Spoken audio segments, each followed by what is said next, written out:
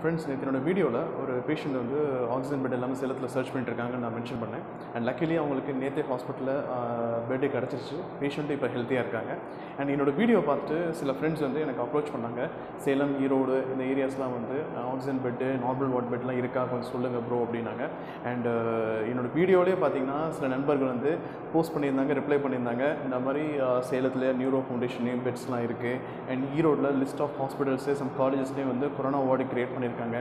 And Olirum Erode foundation and Christu Jyothi இவங்க ஜாயிண்ட்டாக corona treatment பண்ணிட்டுருக்காங்கன்னு சொல்லிட்டு நிறைய பேர் மென்ஷன் பண்ணாங்க. சில பேர் எனக்கு கால் பண்ணி கூட இன்ஃபர்மேஷன் ஷேர் பண்ணாங்க. ஸோ யாரெல்லாம் எங்கிட்ட வந்து பெட் இருக்கான்னு செக் பண்ணுங்கன்னு சொன்னாங்களோ அவங்களுக்குலாம் இந்த இன்ஃபர்மேஷன் நான் பாஸ் பண்ணேன். அப்படி பாஸ் பண்ணி அதில் ரெண்டு பேர் பெனிஃபிட் ஆயிருக்காங்க. ஒருத்தர் வந்து ஆக்சிஜன் பெட் ஒருத்தர் கிடச்சிருக்கு. அண்ட் இன்னொருத்தருக்கு நார்மல் வார்ட்லேயும் பெட்டு கிடச்சிருக்கு. இதை நான் எப்படி பார்க்குறேன் அப்படின்னு கேட்டிங்கன்னா இந்த பேண்டமிக் சுச்சுவேஷனில் நிறைய நெகட்டிவ் நியூஸாக நமக்கு அதுக்கு வந்துட்டு இருக்கு பட் இதை ஒரு பாசிட்டிவாக நான் இதை பார்க்குறேன். ஏன்னா இன்றைக்கி வந்து கொரோனா வந்து எவ்வளோ ஸ்பீடாக வந்து நம்ம ஹியூமன்ஸ் வந்து அது டெஸ்ட்ராய் பண்ணிகிட்ருக்கு ஆனால் இந்த மாதிரி நம்ம கொரோனாவோட கொரோனாவை விட ஸ்பீடாக இருக்கும் இந்த ஹெல்பிங் டெண்டன்சிலங்கிறத நான் புரிஞ்சுக்கிட்டேன்.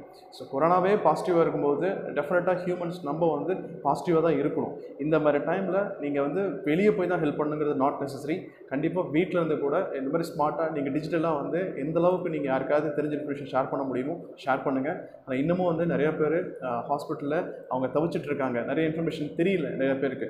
ஸோ நீங்கள் ஏதாவது உங்களுக்கு வந்து சோஷியல் மீடியாலோ இல்லை உங்கள் உங்ககிட்ட இருக்க வாட்ஸ்அப் மூலமாகவோ நிறைய குரூப்ஸ்க்கு வந்து எங்கே பெட்ஸ் அவைலபிலிட்டி இருக்கோ தெரிஞ்ச இன்ஃபர்மேஷன் நீங்கள் பாஸ் பண்ணுங்கள் யாராவது ஒருத்தர் பெனிஃபிட் ஆனால் கூட டெஃபினட்டாக அது ரொம்ப யூஸ்ஃபுல்லாக இருக்கும்.